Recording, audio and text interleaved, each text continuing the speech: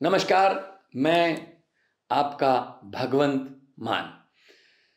दोस्तों, जब भी पंजाब का ख्याल मन में आता है तो लहराती फ़सलें, नाचते झूमते लोग, शूरवीरों, योद्धाओं की कुर्बानी की कथाएँ, और गुरबानी सर्वत का भला मांगने वाली गुरुओं की गुरबानी मन में आती है।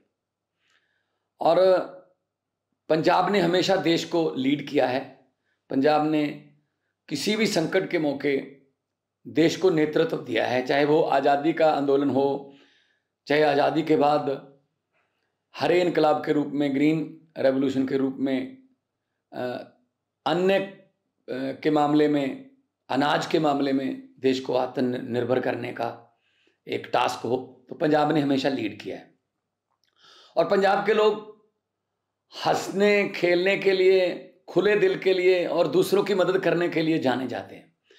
लेकिन अगर पंजाब के लोगों के आपसी भाईचारे, पंजाब के लोगों की अमन शांति और पंजाब के लोगों की आपस में प्यार पर कोई बुरी नज़र डाले तो पंजाबी किसी भी हालत में ये बर्दाश्त नहीं करते। इतिहास गवाह है, जिसने भी पंजाब के सोशल भाईचारक साँझ को, जिसने भी पंजाब की अमन शांति को तोड़ने की, रत्ती भर भी कोशिश की तो पंजाबियों ने उसका मुँह तोड़ना जवाब दिया।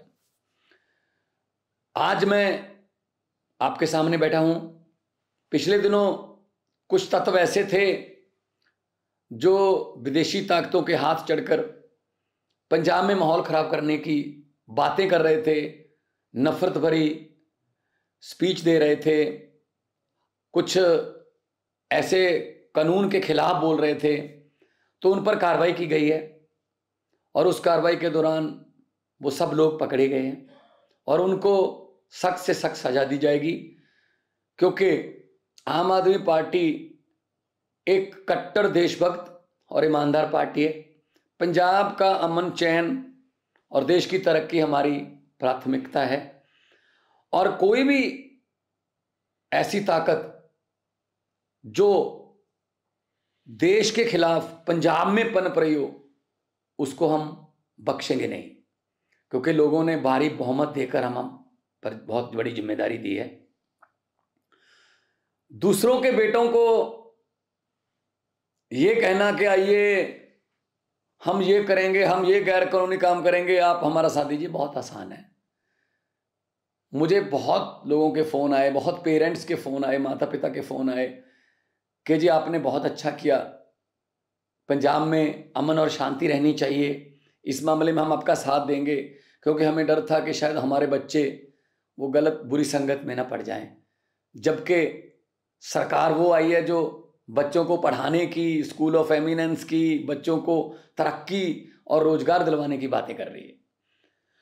तो हमारे लिए प्राथमिकता किताबें हैं। हमारे लिए प्राथमिकता लैपटॉप और कंप्यूटर हैं। हमारे लिए प्राथमिकता कोई गैर सामाजिक हथियार नहीं है। तो मैं तीन करोड़ पंजाबियों का धन्यवाद करता हूँ कि उन्होंने इस ऑपरेशन के दौरान बहुत साथ दिया। पंजाब में कहीं से भी कोई अप्रिय घटना या कोई एक कोई पत्थर या कंकर चलने की भी घटना की रिपोर्ट नहीं आई। इससे मेरा भी हौसला बढ़ा है कि लोग जो हैं वो शांति चाहते हैं, लोग तरक्की चाहते हैं और हमारी सरकार जो है नफरत की राजनीति नहीं करती, हम तो तरक्की की राजनीति करते हैं, हम स्कूलों की बात करते हैं, अस्पतालों की बात करते हैं, बिजली की बात करते हैं इंफ्रास्ट्रक्चर की बातें करते हैं। और अरविंद केजरीवाल जी की अगुवाई में आम आदमी पार्टी जो है, ये मैं बात क्लियर कर देना चाहता हूँ देशवासियों को 130 करोड़ देशवासियों को, कि अरविंद केजरीवाल जी की अगुवाई में हमारी पार्टी 100 परसेंट सेकुलर पार्टी है हम लोग किसी धर्म के नाम पर या जाति के नाम पर या नफरत के नाम पर कभी भी राजनीति नहीं करते। और पंजाब की शांति और पंजाब के अमन के लिए हम सख्त से सख्त कार्रवाई करेंगे। जो लोग बुरी कंपनी में, बुरी संगत में फंस के पंजाब का कुछ बुरा सोचने का सपना भी ले रहे होंगे, वो भी गलत है, मैं उनको कहना चाहता हूँ कि सपना भी लेना पंजाब में, पंजाब की शांति को तोड़ने का, ये आपकी गलतफहमी होगी।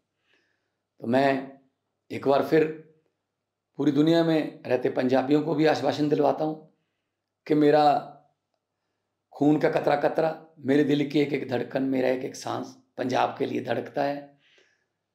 हाजिर है पंजाब के लिए मेरे खून का एक एक कतरा और पंजाब जो है, वो नंबर वन सूबा था और नंबर वन सूबा बनाएँगे। और पंजाब से लीड देश लेता था और लेता रहेगा। आज भी हमारे हज़ारों जवान जो हैं, वो देश की आज़ादी को कायम रखने के लिए सरहदों पर अपनी, अपना सीना तान के खड़े हैं। इस बात का हमें गर्व है।